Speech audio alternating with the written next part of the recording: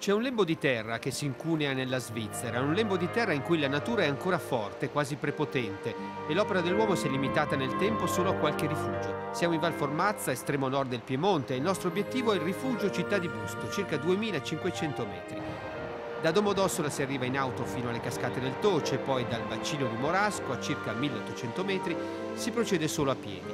Lasciato il lago alle spalle, si sale in un primo tratto per arrivare al vasto pianoro di Bettelmatt, da qui nuovo strappo in salita e si arriva al rifugio. Non ci sono pericoli, ma la camminata richiede un certo sforzo a chi non è allenato.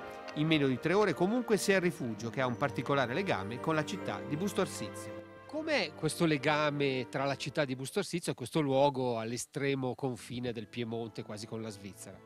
Beh, noi siamo notoriamente legati a, comunque più al turismo lombardo che non a quello piemontese, pur essendo in Piemonte, ma eh, sempre per ragioni proprio di viabilità, di storia, siamo più legati comunque al, a questo territorio. La costruzione dei rifugi in montagna, eh, non solo qui, ma su, su, tutte le Alpi ci sono diversi rifugi edificati da, che portano il nome di diverse città e Busto Orsizio proprio per questi motivi era legato alla Valformazza e ha diciamo, edificato, i cittadini di Busto Arsizio hanno edificato questo rifugio. In che anno? Nel 1927, difatti questo è il primo rifugio edificato in Valformazza. Voi siete aperti da giugno fino a?